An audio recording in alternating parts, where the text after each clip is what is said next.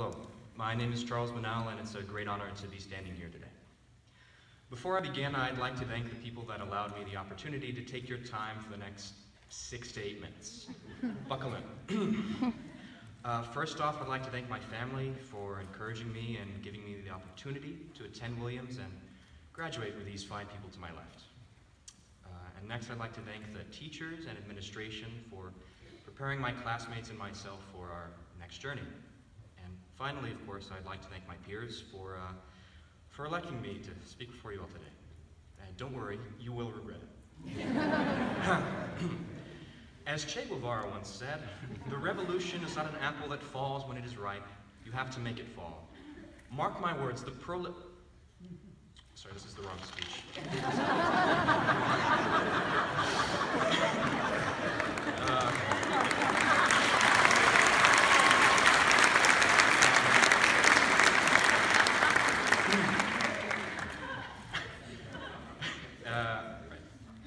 As Kanye West once said, uh, believe in your flyness, conquer your shyness. I couldn't agree more. So here we are. It's been a bit of a ride for us all. You, you know, it's never easy to make a transition like this, moving from one place to another, having to drop all but your memories in order to move on to other pastures. Yeah, I remember the last time that happened to me. I was a quiet sophomore when I transferred to Williams. You may remember me as the guy who clumsily stumbled into the library every lunch period, a little too scared to talk. It took a little while, but uh, thankfully I managed to believe in my flyness and conquer that ever-present shyness that seemed to follow me everywhere but Williams. But what really changed about me? Why am I the guy? I don't know. I feel as though I really managed to come into my own thanks to my peers and teachers. I guess it's sort of like I was one ingredient in a cake with 48 other ingredients. Yeah, I'm about to make an analogy and I'm really sorry. Uh, anyway, this cake was composed of 49 distinct parts, uh, all fine on their own, taking a bit of time to melt together to make something great. These individuals play off one another. They hold their own merits, and as individuals, they can perform great tasks. An egg can be an omelet, a bit of flour can become bread, but only that rare, delicious mixture of those ingredients, amongst others, creates a dish so desired and unique that Marie Antoinette should joke about it. I've got to say, I'm happy to have been one of those ingredients. Something that Williams really taught me in time was that I had my own merits. I never could have imagined myself speaking before you all today. I mean, geez, just years ago I was too scared to raise my hand in class. Maybe it's because I was stressed. Well, you know what they say about what it is to be stressed? Hoover once said, stories aren't the icing on the cake. They are the cake. Who that guy was, I don't know, but he certainly had a point there. This same cake has some stories, a few of which can give a little insight on the life of my class.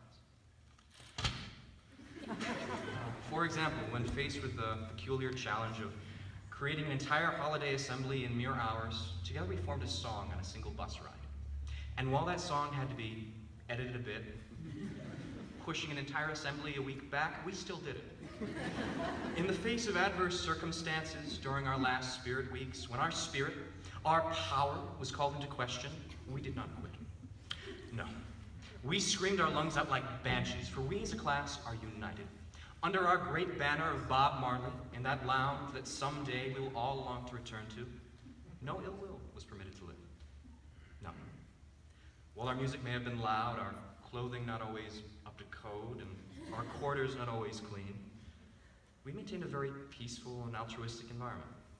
If you were ever in need of a calculator, study tips, perhaps a pleasant joke, a member of our class was always there. I'm not quite sure what I'll do at college without that space where I know I'm always welcome, but I know the best things in life have yet to come. In spending so much time with my class, I feel as though I've developed a sort of nostalgia for events that I myself was not present for. Whether it be middle school halls, Deer Lake, gym class with Mr. Wagner, or Spanish one with Senora Ramirez. There's so much I wish I could have experienced, but I'm truly thankful for that which I was here for, despite joining my friends so close to this end. This event that will possibly be our last time seeing each other. I have no doubt that Williams will always remember this class of 2016 as a group of punctual, cleanly, and rule-abiding students. but seriously, whether it be one student's knack for impersonating Kendall Jenner, another's madness for CrossFit, or even one's ability to channel a particular teacher's personality, these folks are full of surprises. Today marks the beginning of an entirely new chapter in our lives, a moment in which every student here has waited patiently for for months. Somewhat patiently. Having now cleaned out our cubbies of the last high school books we will ever own, we've turned over our ownership of our sanctuary to the next group of smart, funny, often crazy kids. Good luck, teachers. Uh, and I keep talking about the end. Um, and to make use of another quotation, a fine quotation, Kanye, one should be able to take negatives and flip them into positives. Despite the fact that we'll all be spreading out across this world, I doubt today will be the last time we see each other. Despite our varying interests, all of us have a desire to make major changes in the world. Changes that run parallel, perpendicular, all around. Changes that will intersect, maybe only briefly, but enough that perhaps someday, sitting in a boardroom, working in a surgical wing, a, dis a distant shore perhaps, in a courtroom, you'll find a Williams alum. So thank you, my friends, the class of 2016, for everything we've experienced together. And to end on a quotation of Lao Tzu, I say, amidst worldly comings and goings, observe endings become beginnings. Thank you.